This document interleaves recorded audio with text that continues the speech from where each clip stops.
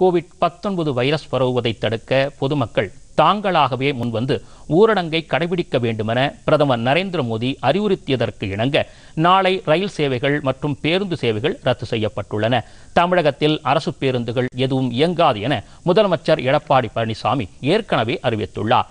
Metro ரயில்கள் மற்றும் mini பேருந்துகளும் இயங்காது எனவும் அவர் தெரிவித்துள்ளார். இது தவிர தமிழகத்தை ஒட்டிய கேரளா கர்நாடகா மற்றும் ஆந்திர பிரதேச மாநிலங்களை இணைக்கும் சாலைகள் இன்று முதல் இம்மாதம் முப்பத்தோராம் தேதி வரை மூடப்படும் என அரசு அறிவித்துள்ளது. இந்த சாலைகள் அத்தியாவசிய பொருட்களான பால் காய்கறிகள் மருந்துகள் மற்றும் பெட்ரோல் டீசல் சமையல் எரிவாயு ஏற்றி வரும் வாகனங்கள் மட்டுமே அனுமதிக்கப்படும். மற்ற வாகனங்களின் போக்குவரத்திற்கு தடை விதிக்கப்பட்டுள்ளது. பொதுமக்களின் அத்தியாவசிய போக்குவரத்திற்காக மட்டும் குறைந்த அளவில் அரசு பேருந்துகள் இயக்கப்படும் எனவும் தெரிவிக்கப்பட்டுள்ளது. தவிர்க்க இயலாத காரணங்களுக்காக செல்லும் பயணிகளின் லகு ரக வாகனங்கள் அனுமதிக்கப்படும் எனவும் அரசு கூறியுள்ளது. இதனிடையே இன்று நள்ளிரவு பன்னிரண்டு மணி முதல் நாளை இரவு பத்து மணி வரை புறப்படும் அனைத்து பயணியர் ரயில்களும் இயங்காது என தெற்கு ரயில்வே அறிவித்துள்ளது.